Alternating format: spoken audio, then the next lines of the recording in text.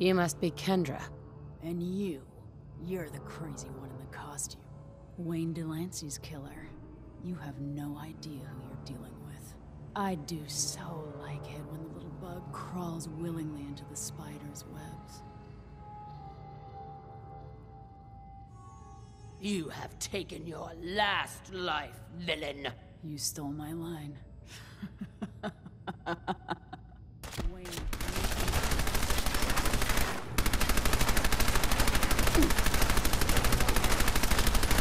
Thank you.